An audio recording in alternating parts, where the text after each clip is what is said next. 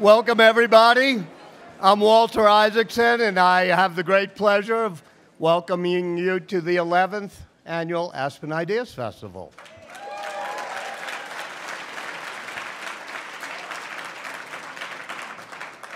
Since the inception of this festival, David Bradley and I have had the high honor of giving these welcoming speeches.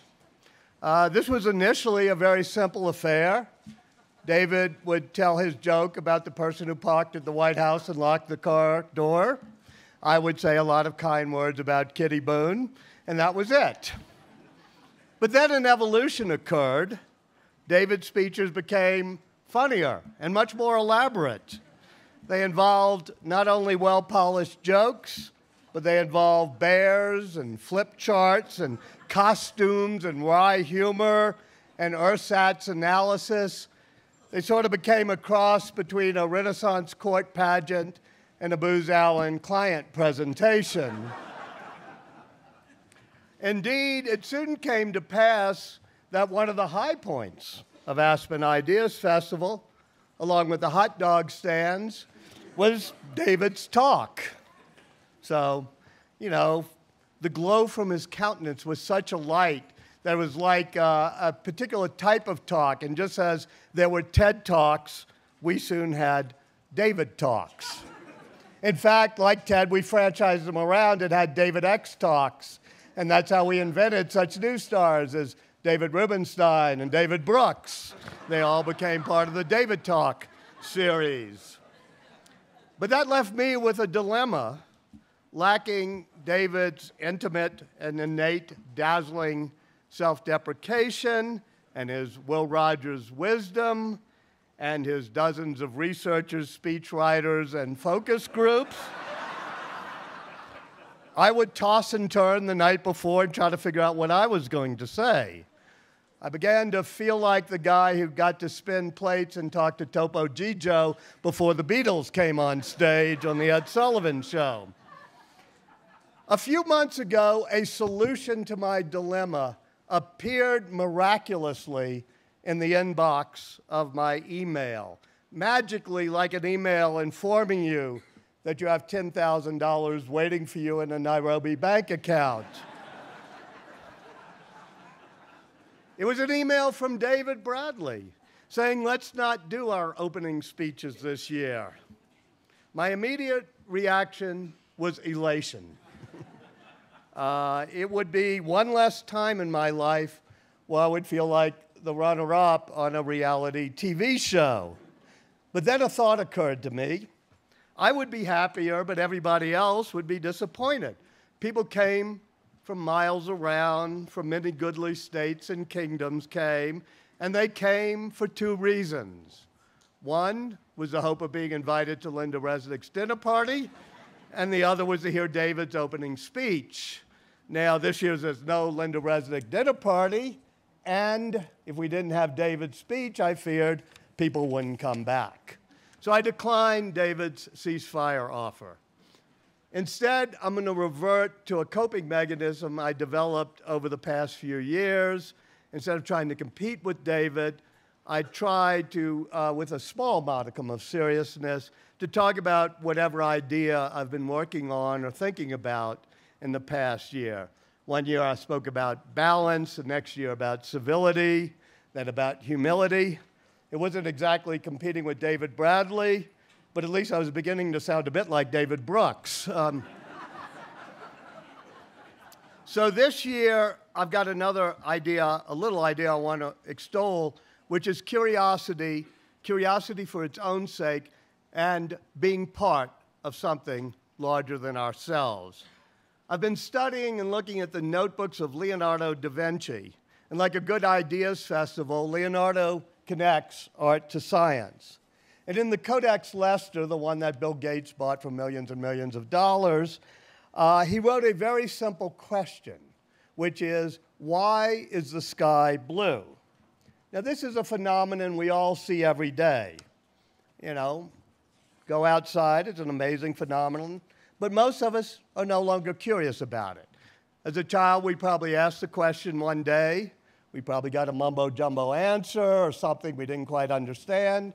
And then we went on to some other deep mystery that might be puzzling us, like, I don't know, what came first, chocolate milk or chocolate ice cream? But Leonardo, throughout his life, was curious about it. The air is absolutely clear, so why is the sky blue? He gets close to the answer. The blue color is caused, he writes, by moisture that vaporizes in particles and is hit by the sun's rays. His quest was inspiring. Leonardo did not need to know why the sky was blue. He could paint the Mona Lisa without knowing, but in a deeper sense, he did need to know. He was curious, and he realized, as he said, that there was a beauty manifest in the laws of the universe. And the ability to marvel at such beauty is a form of spirituality. It's what makes us human. Humans are the species that is capable of being curious about why the sky is blue. His curiosity in the Codex Leicester struck me because I had actually seen that question before, and I'd done a double take when I saw it before. It's Albert Einstein who asked himself, not as a child, but as a 32 year old, exactly why is the sky blue? And in 1911, building on the work of Leonardo, he calculates the detailed formula for the scattering of light by molecules. He did this not because it would be useful. He and Leonardo could have just done just fine, like we do in our lives, not really knowing why the sky is blue. They did it because they realized that they were part of phenomena that are larger than ourselves. We often emphasize the utility of ideas, that they're practical. We proclaim how important it is to turn them into something practical. Ben Franklin did that when he, after the first year of his electricity experiments, he lamented that they had discovered a lot of things, but they had found no practical use for this electricity. He said that the only practical use they had found so far, because he'd been shocked a few times and knocked down, was that electricity tends to make a vain man humble. Um, but that, after flying his kite in the rain, he conceived of the lightning rod, which was the most useful invention of that era. We like to judge our Ideas Festival sometimes, like our universities and our schools, by how useful the impact is. That's one reason we hold an action forum later in the summer to encourage our network of young leaders to do something useful and practical with our ideas.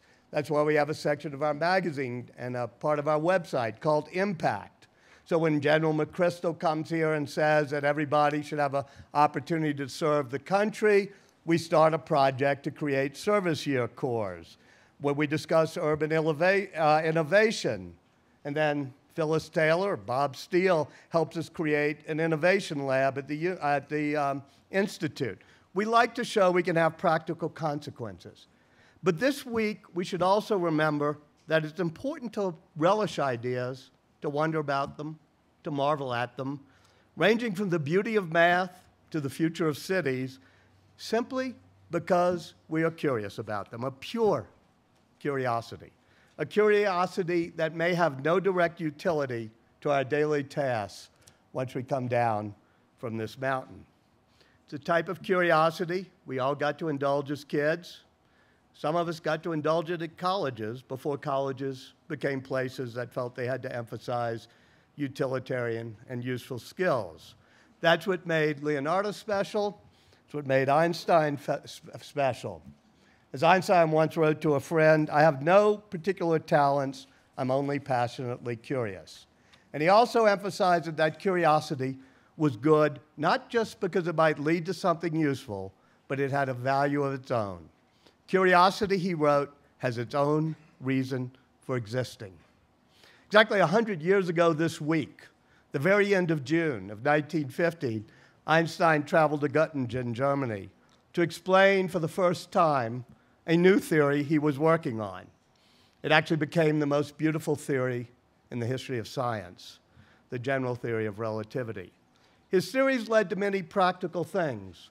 His fingerprints are on almost anything practical we have in our lives today semiconductors, microchips, GPS, space travel, atomic energy, lasers.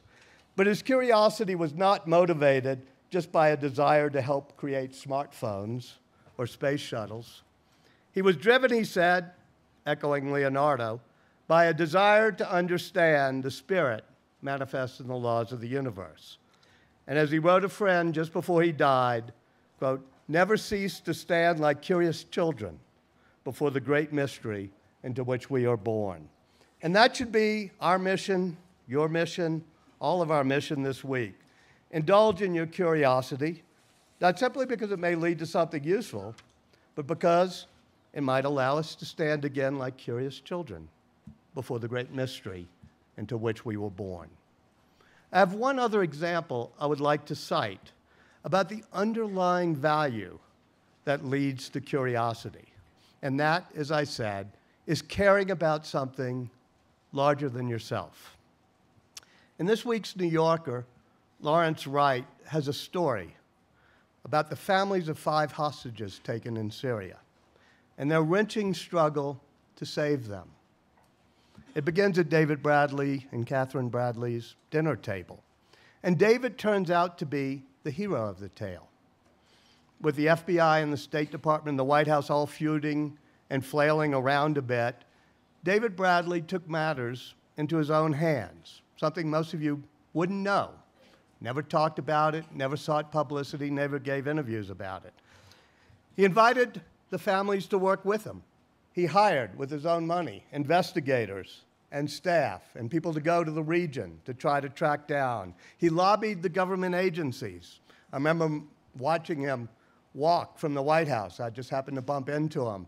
And there he was on one of the many missions trying to get the families together to devise strategies and to try to get people in different governments to help. He did it quietly, combining focus with compassion in a way that was inspiring and is the opposite of what sometimes happens in our government or even in our lives. In four of the cases, as we unfortunately know from the gruesome beheadings videos, the efforts were not successful. But David made a difference. And because of his work, the way the government handles hostage situations has now been changed. But he also made a difference to the families personally. Art Sotloff, the father of one of the beheaded hostages, was so upset at the way the government handled things that he even refused to accept a condolence call from the president. But he did ask, and Catherine and David got on a plane to do it, to fly down to Miami and to sit Shiva with his family. The one thing Lawrence Wright failed to do in his article is to figure out what drove David Bradley. Just this last Monday, David and Catherine had the hostage families over yet again to their dining room. And in the article, what motivated David remains somewhat of a mystery. You know, was he a desire to be a red? Did he want to play a public role? For some reason, even though Lawrence Wright is a good reporter, he couldn't quite figure it out. There were a few quotes in the article, one from Catherine about David's compassion, another about an Atlantic media freelancer had been caught, or the fact that James Foley had once written a second thank you note, but he basically paints David as an enigma. Some of us who know David and admire David, at times when we first met him, thought he was a bit of an enigma. But we understand, and we've come to understand, how deep his values are and how deep his commitment is to act on those values. He has a lively curiosity. He's always asking, Explain this to me. But his curiosity is rooted and caring about things larger than himself. And that is why I think he felt compelled to help a group of hostage families he had never met. And that's why I'm proud to have him as a friend and our partner. David Bradley.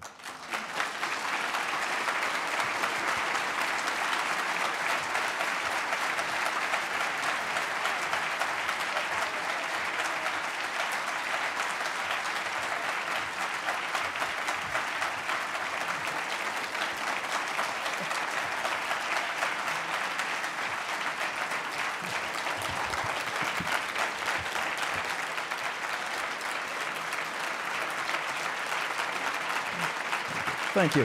Thank you very much. Well, I think that concludes this year's Aspen Ideas Festival. Thank you for coming. So, we all value Walter's words. Um, you'll understand how much those words mean to me. Um, thank you very much, Walter. Um, so this is my 11th year um, with you. How many of you have been here? Uh, we're here at the beginning. So, good number. we are growing old by the decades together. Um, and this is, for me, the 11th time at this podium. Um, I am in my 11th year of not having a big idea. I d- I, I don't mean that with false modesty. I don't have a big idea. I don't have a medium sized idea. I don't have an original idea. I don't have a good idea. And so I walk around the Aspen Ideas Festival as this kind of idea free zone, just blinking as I see everybody. And that's why I've developed stories. I thought, well, okay, let's, let's tell stories. And some of them have been, uh, well, they're all a mix of fact and fiction. Some have been much more fact. The bear story was based on uh, real bear attacks in Colorado. Last year's uh, story about uh, the campus erupting in a marijuana party was, was entirely fiction. Uh, so, uh, three weeks ago, Catherine and I were on vacation together for a week, and I sat down and I wrote out a story. Uh, and the story was 100% fantasy, 100% fiction. Here's, here's the conceit of it. Um, I was going to tell you, uh, especially those who had just arrived, that there was a new security concern here in Aspen. Um, that is, that uh, Snowmass, our sister village, uh, has just recently fallen to ISIS. I was going to comment that the administration in Washington called it a tactical setback. and then I was going to pivot to what I was thinking of as uh, the good news that um, the Caliph of the Islamic State, al Baghdadi, um, had just announced uh, in Snowmass the first annual ISIS Ideas Festival. and you can see where the humor would go from that. Um, I had our own Damian Woetzel up there leading the open ceremony in light exercise. I had Ruth Bader Ginsburg dropped by taxi at the wrong, wrong festival. and spending her whole time trying to explain her vote on the Affordable Care Act, while all ISIS wanted to do was admire her beautiful black robe.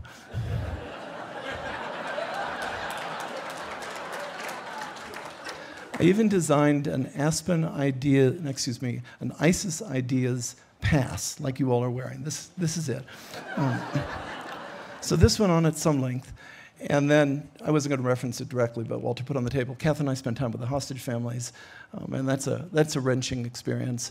And then all of us just read about the ISIS attack in Tunisia and France and Kuwait, and the story just wasn't wasn't in me anymore. I don't know if it was if it was funny, um, but it wasn't funny anymore. So I simply bailed. Yesterday morning when I read it, I just I bailed on it. So this creates some awkwardness here. I have an allotted 10 minutes. We're about three or four minutes in. We're both not clear that I have anything else to say, right?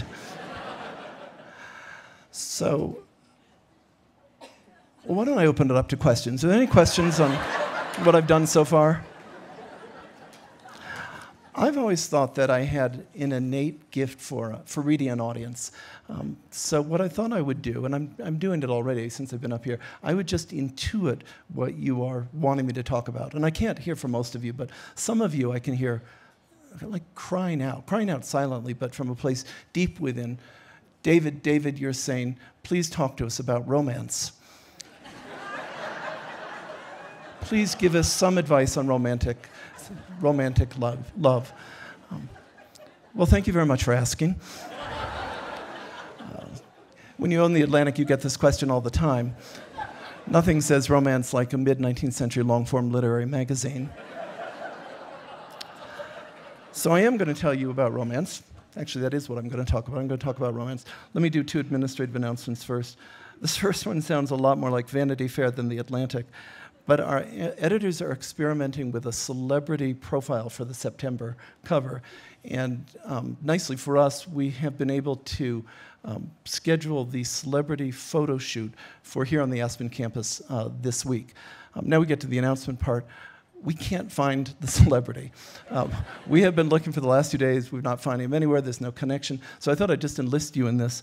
Uh, if any of you happens to meet a Mr. Bruce Jenner, would you tell him the Atlantic's looking for him? I think this is our real chance to scoop Vanity Fair. Second, this is, a, this is small and it's unobvious. There's an unobvious aspen angle to the drought that's developing in uh, Southern California. Um, and I say this by way of tribute to uh, Lynda Resnick, who is the first citizen and most beloved person here at the Ideas Festival. Um, late last week, the Department of Defense announced uh, or issued satellite imagery showing a 2,000 mile long corridor of ocean going canoes with 5,000 shirtless men from the island of Fiji paddling water to Los Angeles. God bless Lynda Resnick. So now I'm going to move to romance. Walter and I are um, pleased to announce that we personally are teaching the brand new romance track at this year's Ideas Festival. We're going to be exploring what psychiatrists and neurologists and clinical scientists have discovered about the science behind falling in love. Walter is kicking off the first romance panel at Paepcke at 8 o'clock tonight. It is the art of flirtation among financial leaders with panelists Peter Orszag, Janet Yellen, and Timothy Geithner. So I thought what I would do is just offer a quick primer on what the academic literature says about falling in love. And I'm going to leave the jocular voice for a moment. Um, so most people, a little over 80% of us, fall in love the first time when we're in our teen years. But we know a great deal by now about the cascade in the brain that follows that. So do you remember the first time you fell in love?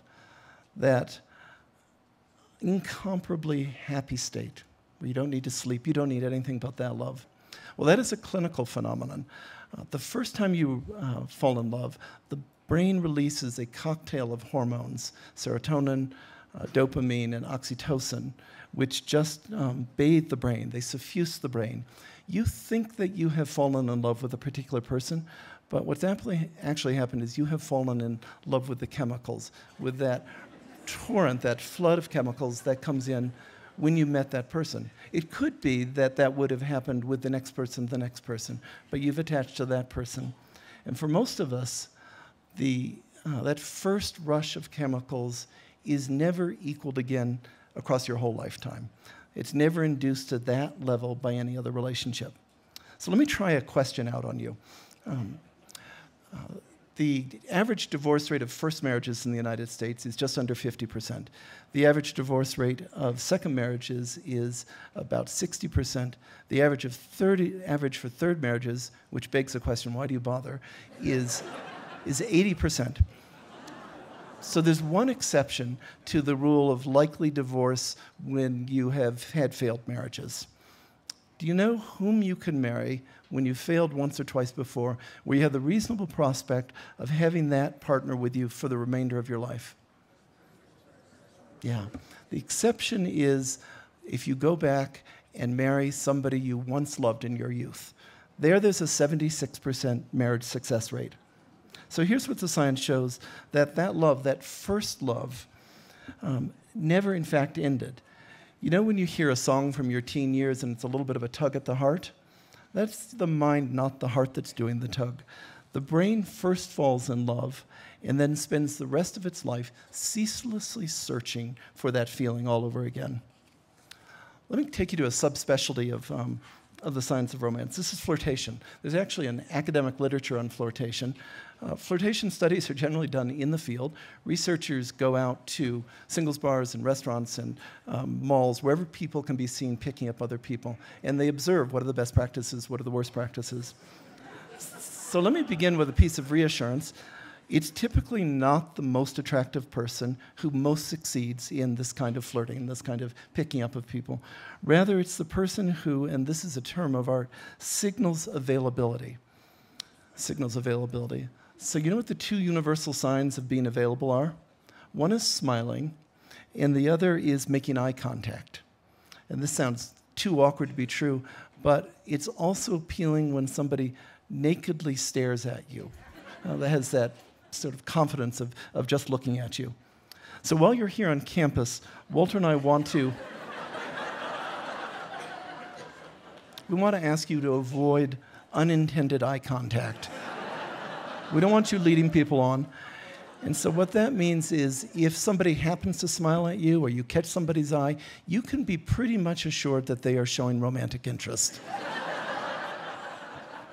I'm going to separate out men from women here. So here's a tip for women. Women won't be surprised from this by this. Men love what's called mirroring.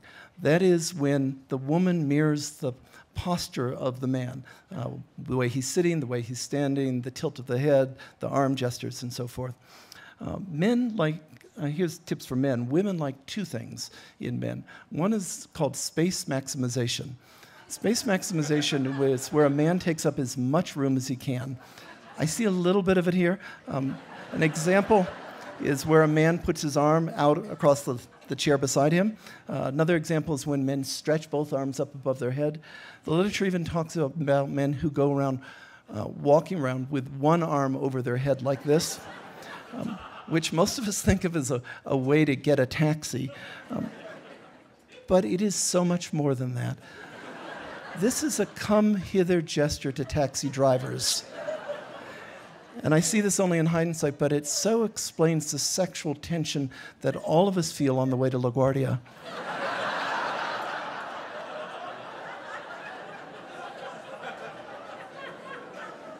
Second, women are attracted uh, to what, and I'm going to quote a study here, to men who playfully shove each other around.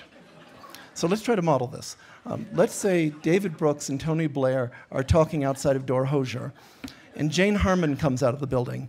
And let's say David sees her first, so it's his move to playfully shove Tony Blair off the sidewalk.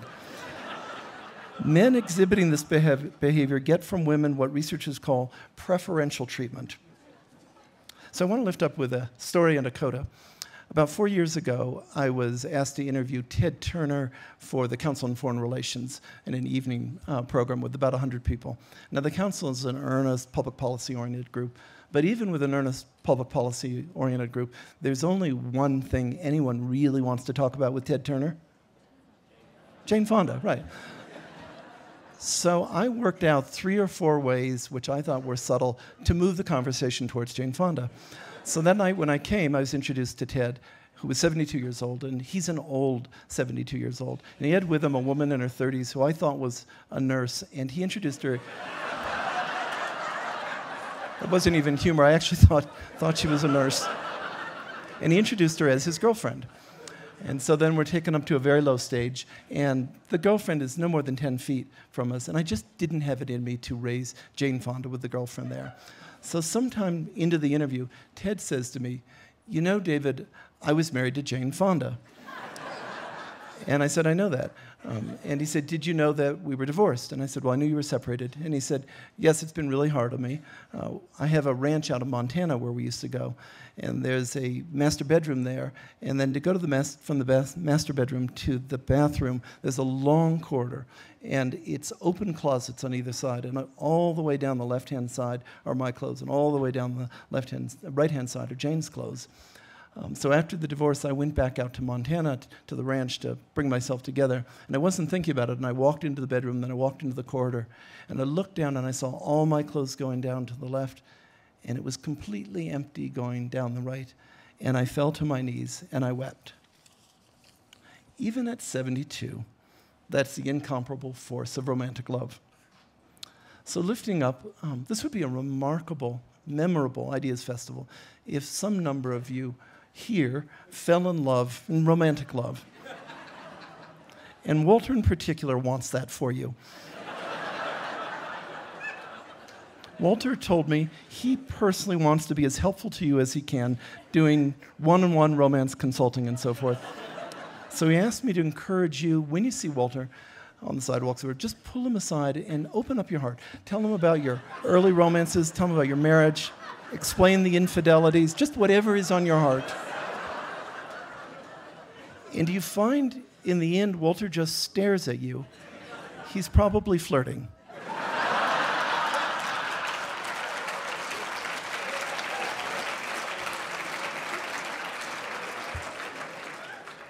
we have at the Atlantic what we call the Elizabeth Taylor School of Public Speaking. So, as Elizabeth said to each of her five successive husbands, I won't be keeping you long. and now, as we kick off the festival, we've asked some of our participants to share a big idea in a small period of time to get this going.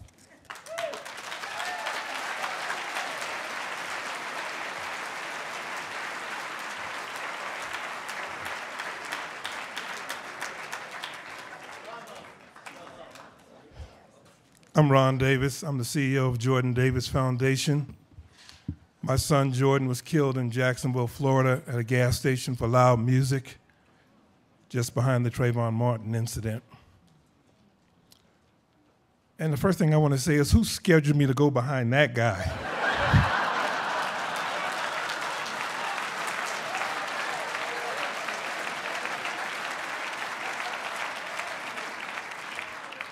That's like the guy that married Michael Jordan's ex wife. How do you go behind Michael Jordan? But anyway, um, we have a, a, new film out called Three and a Half Minutes, 10 Bullets. Uh, it is going to be here on Tuesday, and I want you all to come out see it. It's about the Jordan Davis story and the Michael Dunn trial. And uh, we also got picked up by HBO, so if you don't see it, then you could see it on HBO. I had a big idea. uh, how many of you uh, travel to at least 30 cities every year? Raise your hand. So you're going to know what I'm talking about. The planes up there, they have like lanes that they're flying. Uh, when you jump into your cab, or you jump into your Uber, or you jump into your Carmel car, they have lanes that they drive in. And as I was going through the airports, I was noticing how come we don't have lanes at the airport, at the major airports, for the people that want to walk slow and look at all the stores? We should have like a yellow line going down the airport and a green line. So you people that fly and go to more than 30 cities a year, you'll stop knocking down these old ladies on your way to making your flights. So my big idea is have lanes in all the major airports. So if you want to go slow, go slow. If you want to go fast, you go fast. Lanes. And don't steal my idea. I'm gonna, I'm gonna copyright it. Don't steal my idea. Lanes in the airport is my big idea. And I just want to say also that I want to have 10 seconds of silence for the poor souls in Charleston, South Carolina. If you would give me 10 seconds of silence, please.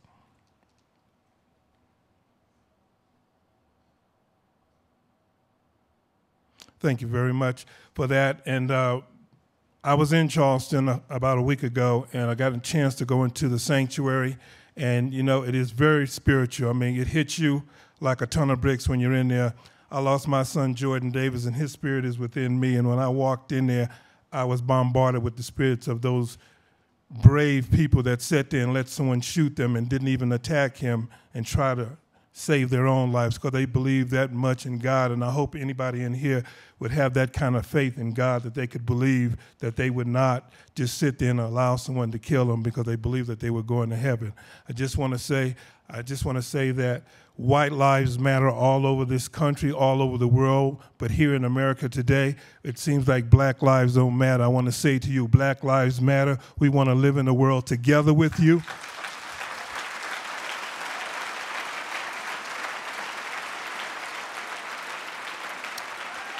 And we will not let the white supremacists take over this world because for us in America to be America the beautiful, we have to make sure that all lives matter. Thank you very much.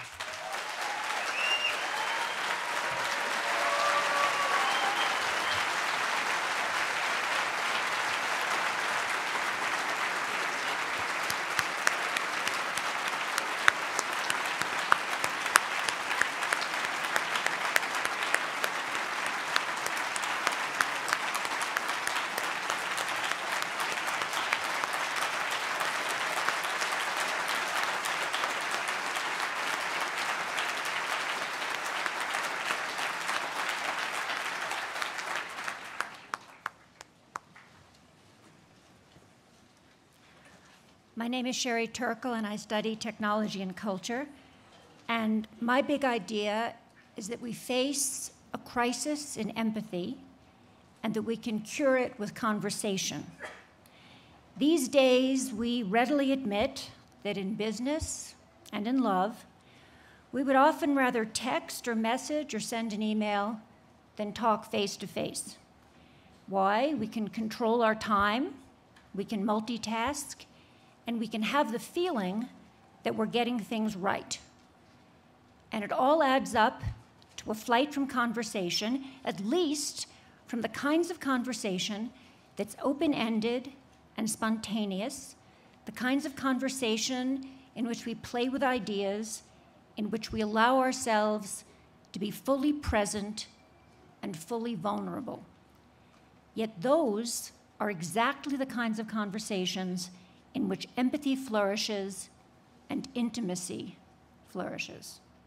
Distracted at our dinner tables and our living rooms, at our business meetings, and in our classrooms, we find traces of a new silent spring, which is the term that Rachel, Carson coined when we were ready to see that with technological change had come an assault on our environment. Now we've arrived at another moment of recognition. But this time, technology is implicated in an assault on empathy. Research shows that even a silent phone on a lunch table between two people causes them to share less with each other. In another experiment, the very presence of a phone on the periphery of a landscape, kind of in the periphery of your vision, leaves people feeling less connected to each other, less interested in each other, less empathic toward each other. So it's not surprising that in the past 20 years, we've seen a 40% decline in the markers for empathy among college students. But we're resilient. The human spirit is resilient. In one study, in only five days at a summer camp with no devices, with no electronic devices, children begin to relearn the ability to identify with the feelings of others. How do they do that? They talk to each other. Face to face conversation is the most human and the most humanizing thing that we do. So, this isn't about giving up our phones, it's about using them mindfully. And when we do, conversation is there to reclaim for the failing connections of our digital age. It's the talking cure. Thank you.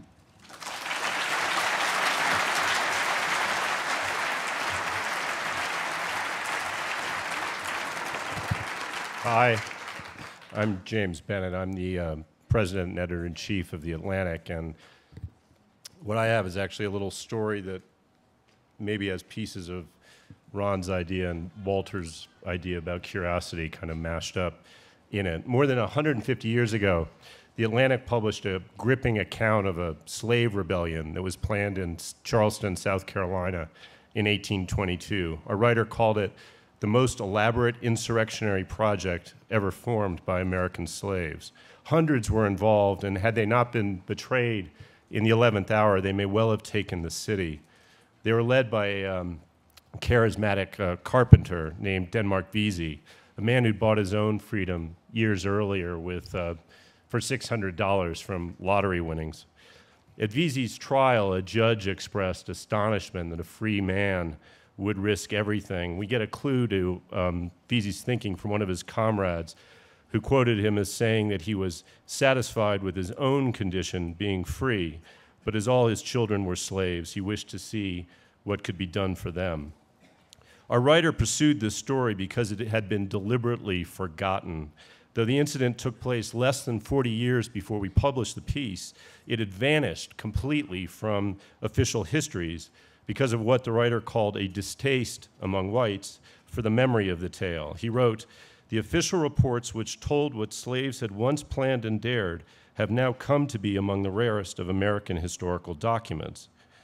Denmark Vesey was a founder and minister of Emanuel African Methodist Episcopal Church in Charleston, and Clementa Pinckney, his eventual successor, would tell people Vesey's story in hopes of reminding them of this history as you all know, Pinckney and eight of his congregants were murdered um, this month, evidently by someone with very different notions about the past, a man longing for the Old South and the Old South Africa and Rhodesia. Because of those murders, we're engaged now in a debate about the true historic resonance of symbols of the Confederacy, a debate characterized not just by stridence or temporizing on the part of those who defend these symbols, but surprise on the part of many of us that those symbols are so deeply embedded in our culture. Many people find themselves asking for the first time questions like why is it that Jefferson Davis, who tried to destroy the Union in order to perpetuate slavery, is honored with a statue under the US Capitol's dome? I think the story of this century so far, particularly for Americans, has been in many respects about our gradual, our too gradual awakening from a happy dream that we'd overcome our history or that somehow history had even ended. In the Middle East, in Eastern Europe, in North Africa, in the heart of Europe, in the South China Sea, and at home, we keep discovering and we keep being surprised to discover that history is far from done with us.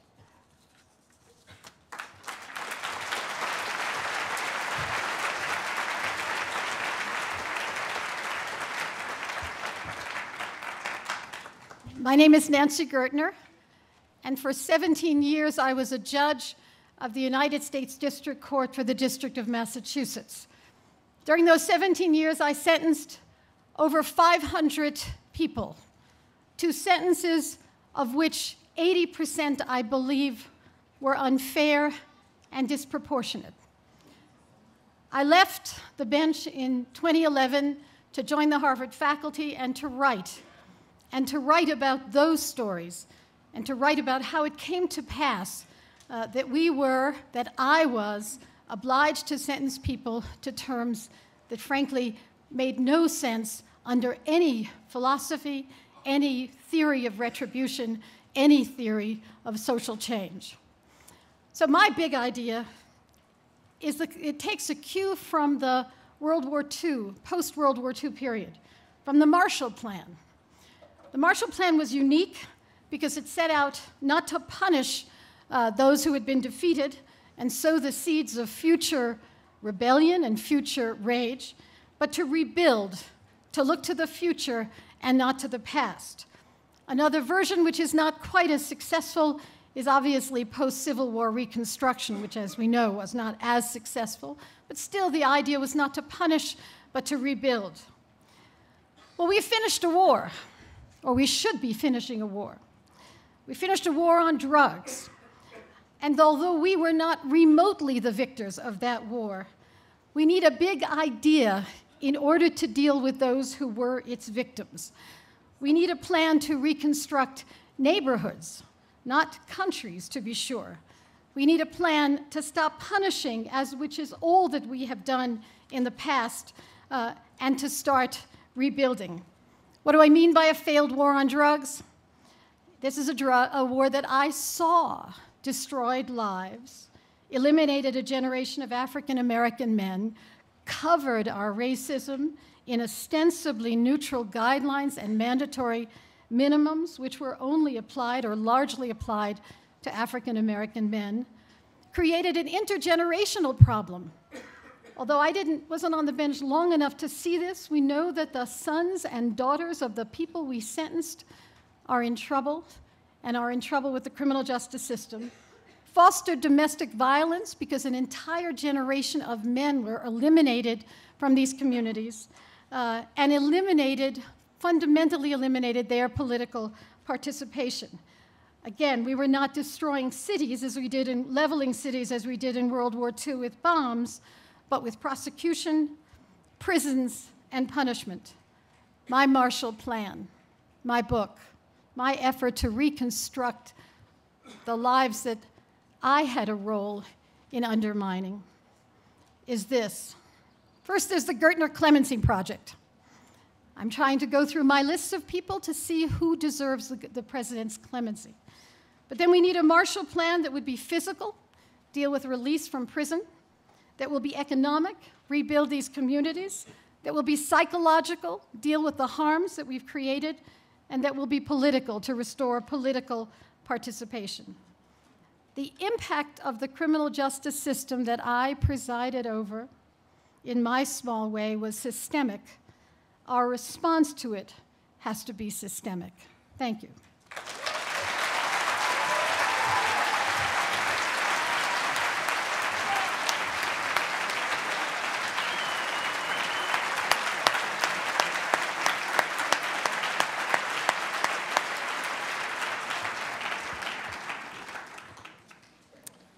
Good afternoon. Thank you.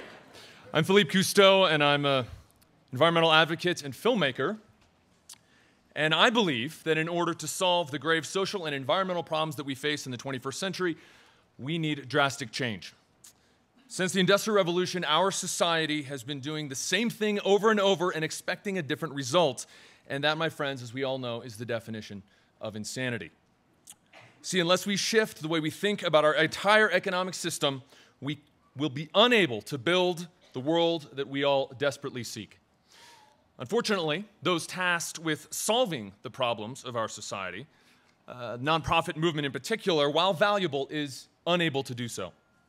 Consider that annual charitable giving in the United States is about $300 billion, and yet US financial markets are worth $38 trillion.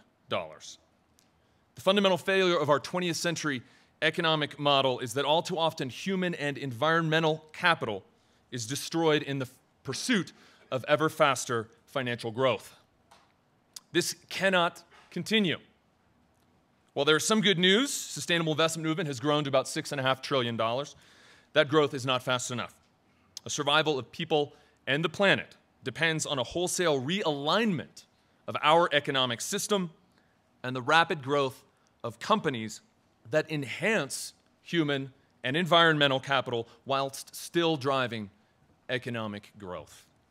So, my idea is very specific it is to eliminate capital gains for five years on all impact investments in the United States, thus accelerating capital flows to the companies that will build a sustainable economy for the 21st century. My father always said we must build a world where every single child has the right to breathe fresh air, drink clean water, walk under green grass, under a blue sky. And, ladies and gentlemen, if we do not act and act quickly, then that world will disappear for all of us. But we can turn it around.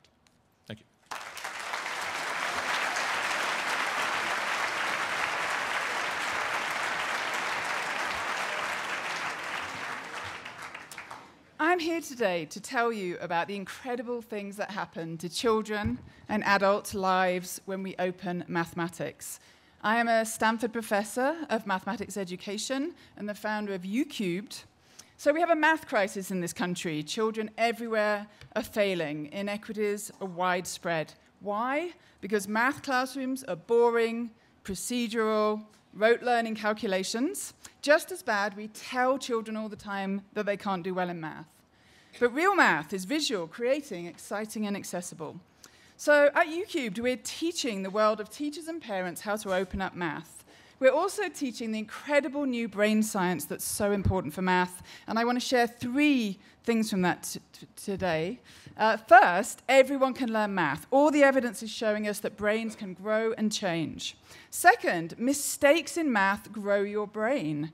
And the most important learning opportunities are when we're struggling, when we're making mistakes, when things are hard. And third, and this is pretty amazing, the beliefs we hold about ourselves, whether we believe we can do something, actually change the mathematical working of our brains.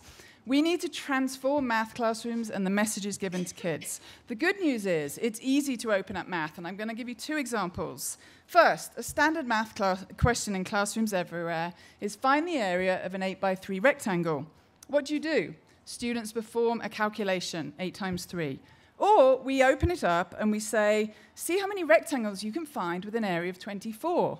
When we do that, kids' eyes light up. They're trying to find things, they're investigating, they make drawings, they're connecting uh, proportions of length and width. It's amazing. Another example we can give you can ask kids 1 divided by 2 thirds. What will they do? They'll struggle, they'll try and flip, uh, they'll do procedures, they'll get confused.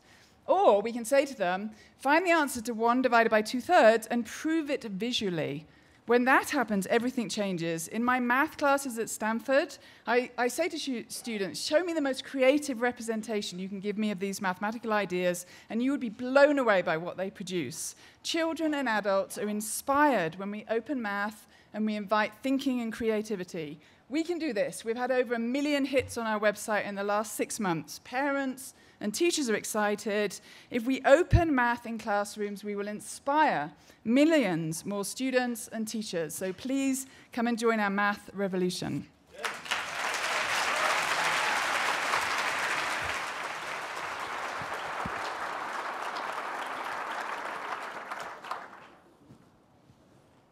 My name is Gregory Mosher, and I direct plays. And our idea, perhaps big, perhaps modest, certainly curious, is to engage a play that's been part of Aspen since its earliest days, Sophocles' Antigone, by taking it to some of the most stressed places on the planet. One week from today, a young international company will be in the Kibera slum, one of the largest slums in Africa, in Nairobi. And we'll be performing for young girls, really, in a bare space with only Sophocles' idea. We're going to move on to schools, prisons, the townships of Johannesburg and Cape Town to find out what this play means to these young people, a play that presents irreconcilable conflicts, or seemingly irreconcilable conflicts, between the young and old, the needs of the living and the needs of the dead, the individual's conscience and the demands of the state. And above all, probably, the empowerment of women, men and women, Creon and Antigone. You will remember, most of you, that in this play, there's been a civil war. Antigone's two brothers have killed each other in battle. The loyal brother, Eteocles, is to receive a state funeral with all honors, while the rebel brother, Polynices, who came armed against Thebes, will be left, according to Creon, where he fell to be eaten by the birds and dogs. Antigone goes under the cover of a mysterious dust storm to perform a brief ceremonial burial of the traitorous brother. And she's caught. And she's brought before Creon and before you, the people of Thebes. And he says, You, with your face on the ground, do you say you did it? Or, you, or do you deny this act? I say I did it, and I don't deny it. Well, tell me then. No speeches now. Did you know I'd made a law against this very act? How could I not? It was explicit. And yet you dared to break it. Yesterday you made this law. You'll make another one tomorrow. But the fixed, unwritten laws of heaven are outside time. We don't know where they came from, nor can we know. Should I risk punishment for breaking them because I feared a mortal's thought? You say I will die. I don't need you to tell me that's my fate. I've always known this, even as a child. When you live with as many evils as I do, to die before my time is not the worst thing. I have no sadness for this destiny. Sadness would be to leave my brother's son without a grave. If this seem foolish to you, find a fool to judge. Hmm. She thinks she's smart to muddy up the laws. She boasts she breaks them. But I am not a man. No, she's the man if her audacity goes unpunished. I don't care that she's my sister's child. She will die the death I have decreed. I hate when someone's caught attempting bad and then pretends it's beautiful. You seem to want more than my death. No, girl. If I have that, I have it all. Then stop talking if your words displease me. Yours displease me and others, though they will not say. Don't you see that no one's with you? They are with me, but their tongues are numb with fear. They're not. Aren't you ashamed to stand alone? There was no shame in honoring my own flesh and blood. Another of your flesh died fighting for his homeland. We are all of the same flesh, same man, same wife. Yet you honored the godless one. It is not for you to say who is godless and who is not. It's clear enough to everyone but you. He was my brother. And he attacked. The death world asks that we perform these rites. But only for the good. Great King, I do not hate as you do.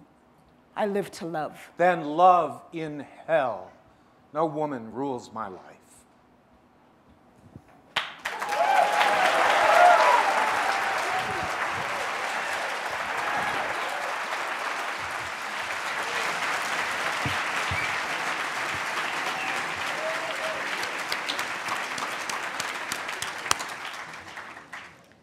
Hi, my name is Nina Khrushcheva. I teach international affairs at the New School. And my big idea is about selling the idea that intellect is a virtue. As Larry the Cable Guy once said, in America, we don't only make things you want, we make things you don't know you want.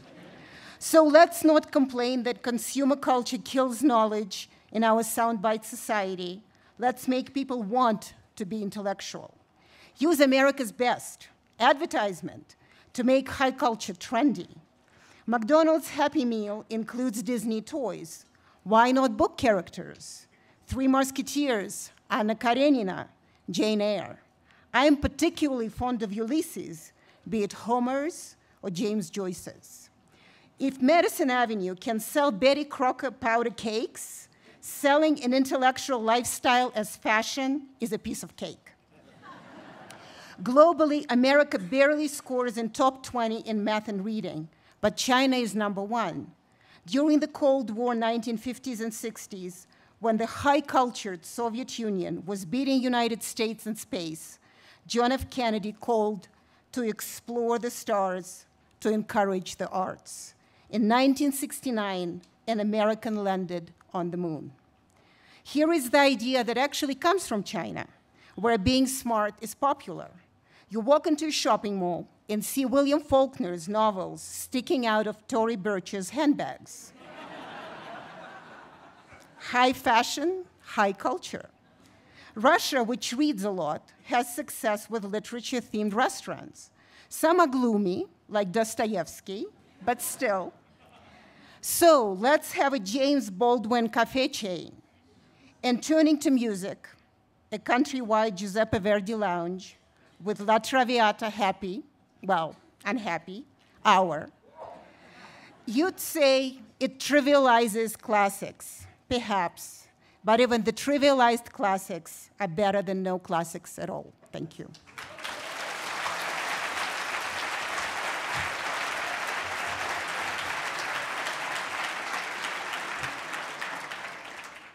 My name is Melody Barnes, and I'm chair of the Aspen Forum for Community Solutions. thank you. America is in love with the transformational leader. America must fall in love with leadership. What's the difference? Dr. Jonas Salk is widely and appropriately credited with discovering the vaccine for polio. But there were hundreds of individuals who also contributed to that accomplishment. There were the scientists and the lab workers. There was the organization that's now known as the March of Dimes that galvanized public support and the resources that actually created the lab to make the work possible.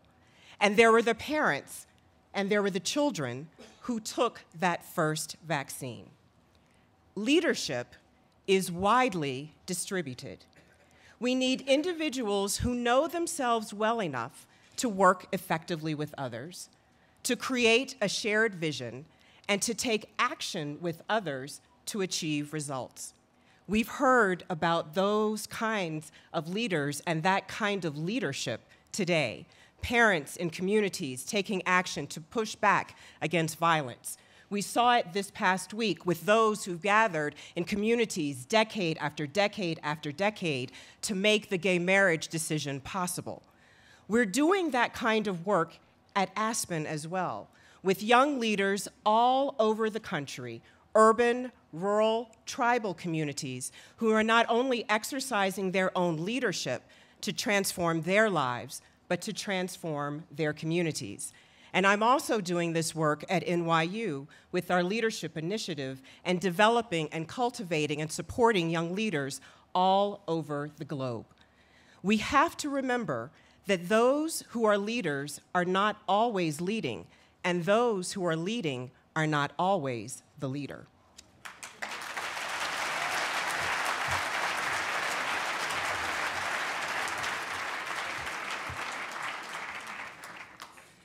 I'm Kathy Sullivan. I'm the head of the National Oceanic and Atmospheric Administration, and I want to place the Earth in the palm of your hands. As an astronaut, I had the great fortune of being able to see our planet from my office window and marvel at its dynamically integrated system. These magical moments forged a deep appreciation for the uniqueness of our planet and the vital importance of understanding it from a comprehensive and inclusive perspective. One ocean, one atmosphere, one singular system of systems called Earth. Until today, this sense of our home planet has largely been restricted to those of us that had that great privilege to float in space and seemingly hold our planet in the palm of our hands. What if tomorrow you had this too? What if new renderings of environmental insights would do away with mere maps of our planet's skin and allow you to understand the Earth and its inextricably interwoven systems as a whole? Suppose we transformed the terabytes of data we collect every day from satellites and sensors in the ocean, on land, and in the atmosphere into a completely new understanding of our surroundings and a radically new generation of forecasts. And suppose that we put that holistic understanding into the palm of your hand and put reliable prediction, foresight, right at your fingertips. My vision is grounded in a data revolution that promises to make the huge store of data we scientists have gathered over decades not only accessible, but ubiquitous. Just think how this could revolutionize our capacity to make decisions, better decisions, ones that factor in the dynamic environment we live in, ones that at last take proper account of our planet. Imagine long term water forecasts that let the family farmer and the big ag grower, not to mention the water manager in California right now today, anticipate drought and know months ahead how much rain they'll get and when. Or coastal ocean forecasts of real time wind and wave, tide and current, and navigational data at the fingertips of the leisure boater and the commercial shipping captain, allowing them to maximize both cargo loads and safety as they chart their courses. Or street level flood outlooks days before a hurricane comes in that allow coastal residents and public emergency managers to determine when they need to get out of harm's way. Knowledge is power is a well worn truism. I'm talking about environmental intelligence, reliable, timely information that gives us foresight about changing environmental conditions. This is invaluable on the very dynamic planet we inhabit. So let's harness the capability of Earth observations, data, and innovation to infuse this more fully into the decisions made on Main Street and Wall Street and in capitals across the globe. Let's arm our businesses, our communities, and our citizens with the foresight we need to live wisely and well on this planet for centuries to come. And let's commit ourselves to using this new capacity to take proper account of our planet in all our actions and economic decisions. It's time for you to have Earth in the palm of your hands as well.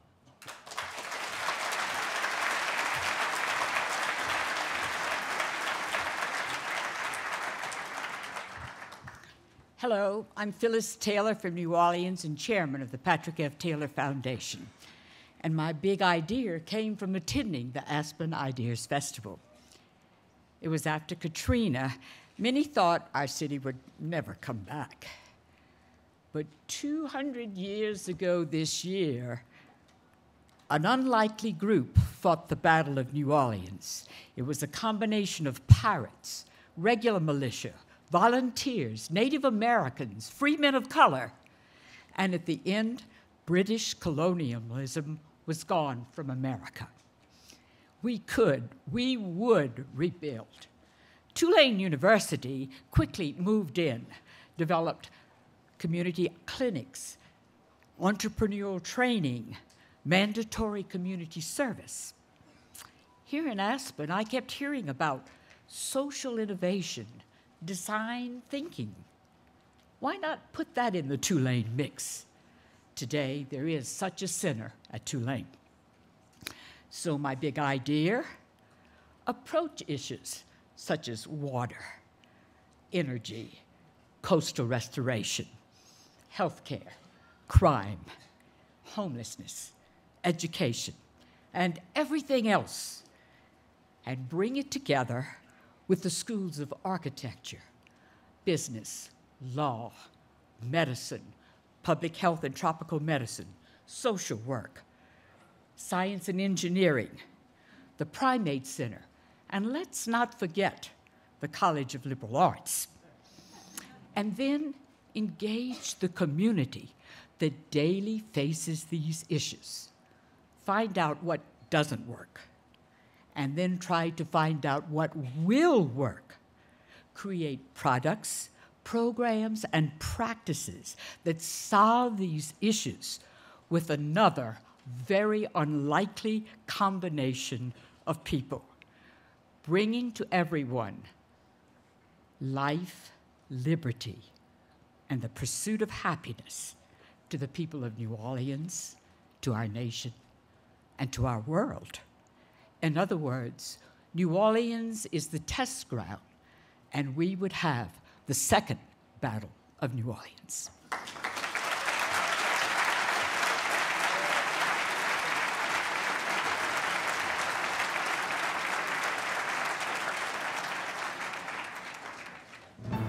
Since its inception, the Aspen Ideas Festival has actively pursued participation by young emerging leaders from across the globe. Our objectives are plain to engage the next generation of thinkers and doers in the discussion of important ideas and to inspire the rest of us to even higher ideals.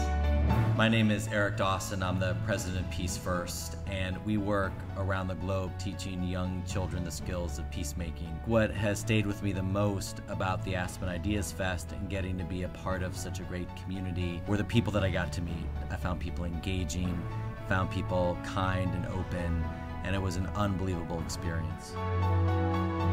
Hi, my name is Kiana Elliott, and I'm a third year student at the University of Florida studying horticultural science. At the Aspen Ideas Festival, there was one session that struck me the most.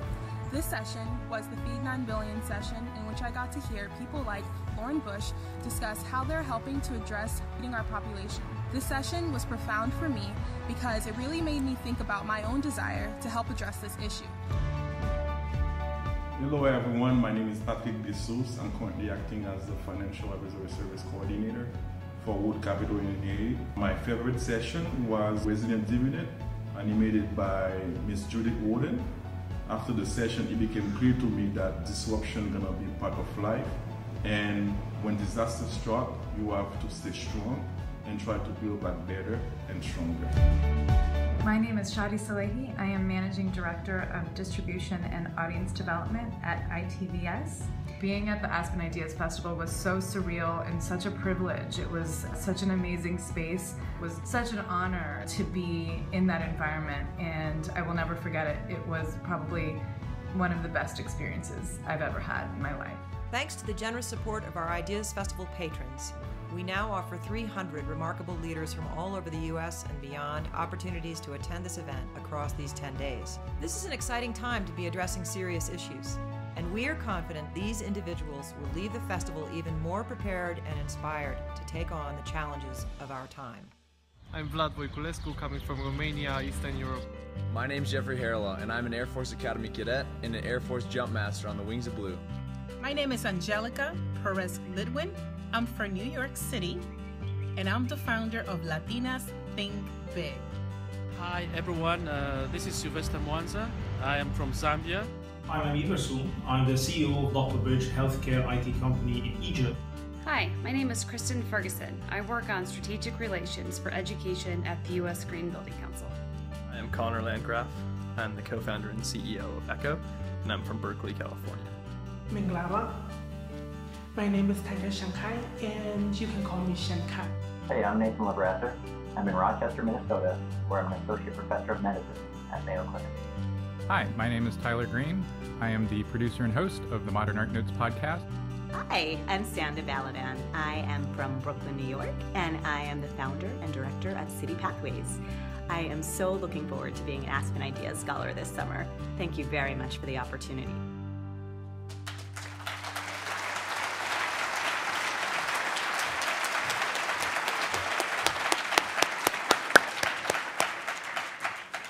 I'm always embarrassed to introduce myself uh, because when I do, I, I get overwhelmed. Um, but my name is Kitty Boone, and I have got the honor. I have the honor of working with a team of unbelievable people who help us put on this event, and uh, we couldn't do it without all the kids that work for the Aspen Institute. And it's a pleasure to introduce them to you over the week, and you'll see them a lot. And I won't go into all their names right now. Um, I would like to invite all of our scholars that you just saw some of to stand up and welcome them to the Ideas Festival.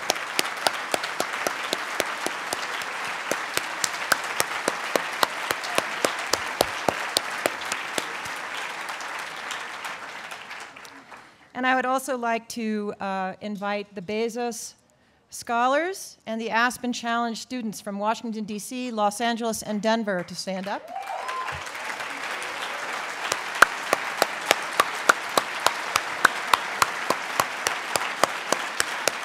and the African Leadership Academy as well.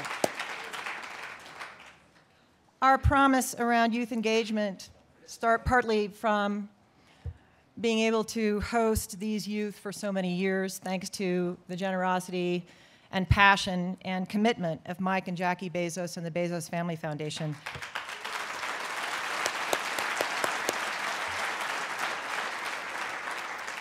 We are launching this fall a youth engagement initiative at the very highest echelon of the Aspen Institute, and we're really excited about it. And it's you guys that have gotten us to that point. So I'm really excited to, uh, to share that with you.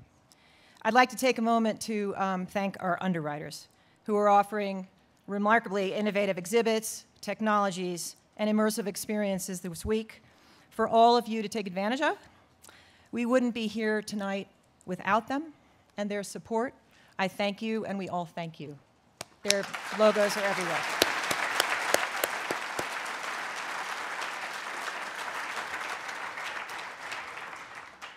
It's a little bit of a hard act to follow what we just heard, and I, um, I'm not prepared to remark on what we just heard, but I think this was, Graham, the most fantastic opening we have ever had, and I cannot thank you enough.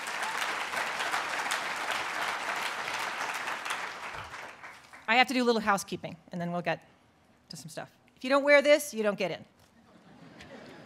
your security and the security of our presenters is really at stake, so please do wear your badges. If you don't have one, go to our registration desk. We'll give you a day pass and come with it tomorrow. Um, we have a terrific lineup of events in town and well and on our campus at night. If you don't think you can get in because something is sold out, just go to the door. We, we will get you in. I might not be at the door. Uh, parking may not be as easy as it has been in the past. It's probably never been that easy.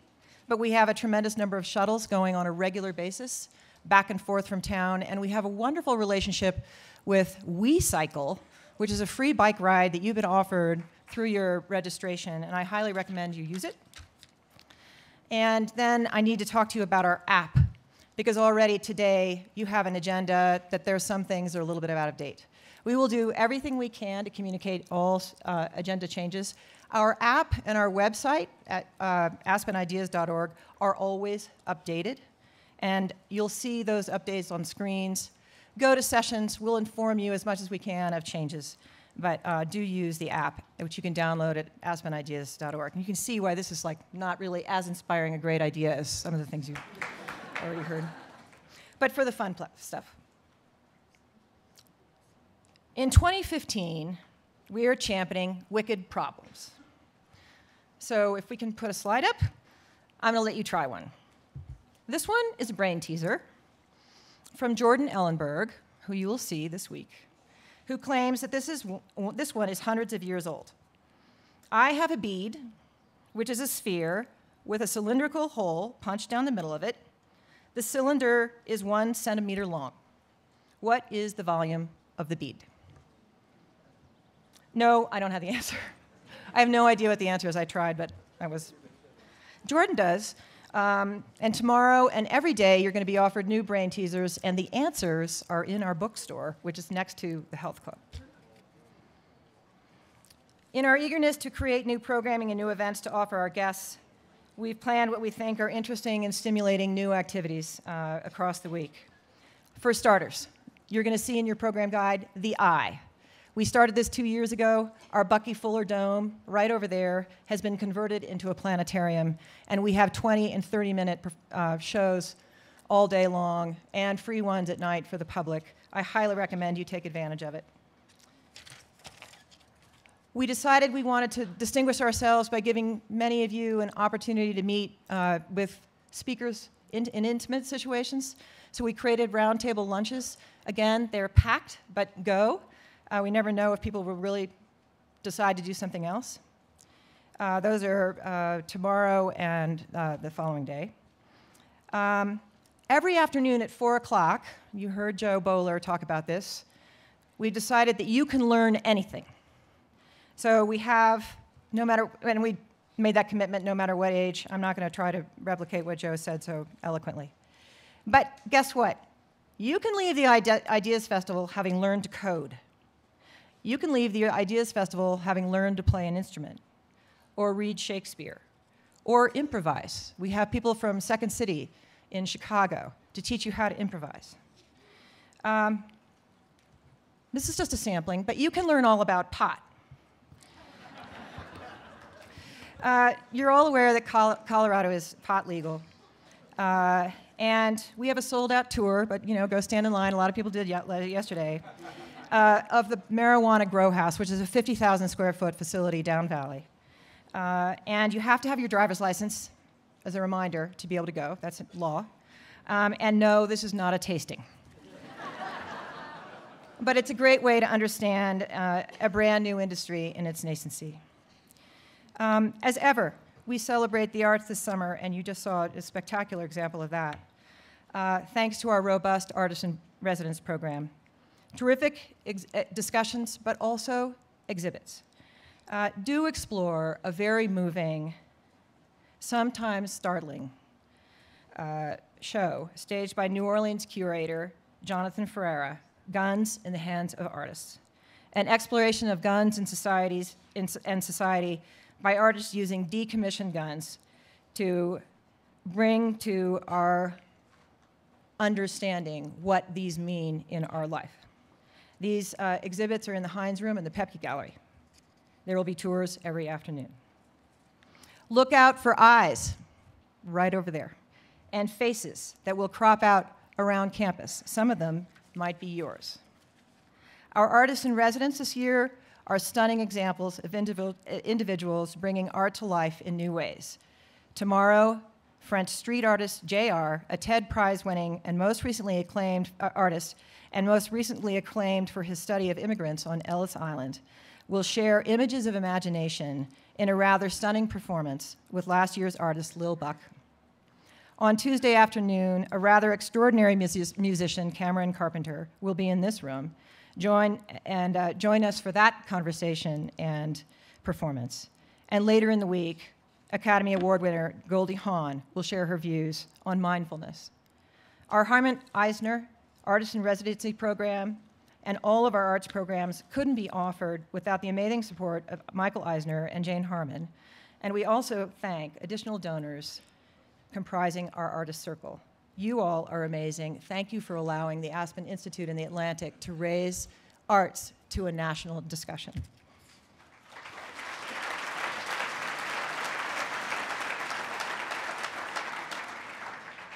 Finally, a word about this year's programming.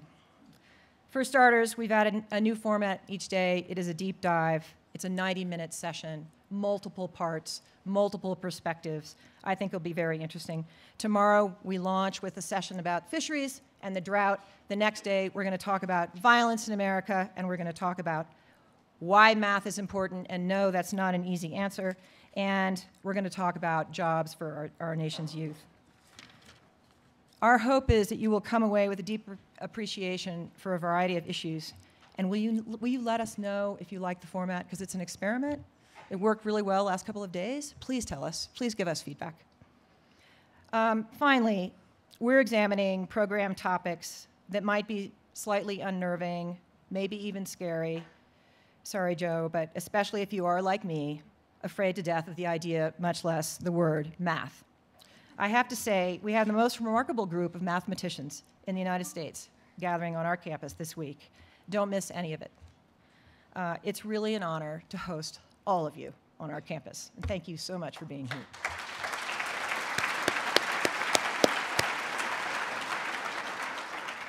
Additional topics are no easier to tackle, but our hope is that you will attend these sessions with open minds and hearts as we explore the very complicated issues of inequality in America, of violence on our streets, of the oceans at risk, of challenges to our democracy at home and abroad. You got a taste of this this afternoon. Maybe we can all embrace the opinions and concerns which our presenters offer, as well as the remarkable solutions that they will share. Our theme, Wicked Problems, Smart Solutions, is intentional. We hope to tackle the toughest problems and then inspire with the smartest ideas to solve them. And speaking of the smartest ideas, just yesterday we offered at Spotlight Health our first ever award funding to a speaker or scholar with us this week whose unique ideas had won them a place on our stage as a final, a finalist uh, at our inaugural, uh, inaugural Aspen Ideas Award competition. On June 30th, five more will take the stage. On July 3rd, five more will take the stage. We encourage you to attend and vote for the individuals whose ideas we should put in motion. Our first time offering the Aspen Ideas Award, a project we worked together on with uh, our wonderful colleagues at Booz Allen Hamilton. Our goal is to support the growth and implementation of a great idea. Yesterday, Kopano Mabaso from South Africa won $25,000 for winning hearts uh, over her hope to offer better maternal health, maternal health services, excuse me, to women in distant rural communities of sub-Saharan Africa. On Tuesday, who knows? But we know this, you can influence the outcome and place an idea into action. And we were also really thrilled that somebody in our audience decided that all the other finalists should receive some funding support, and we got a grant for $60,000 to spread across all of our finalists.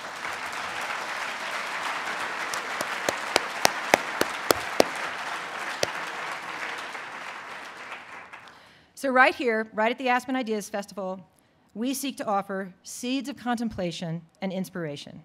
Do go to sessions you know nothing about. Share these ideas and discussions with family, friends, and acquaintances, be it around the dinner table or through written or tweeted letters to others. And most of all, have a wonderful time because, after all, it is a festival. Let the games begin. Thank you.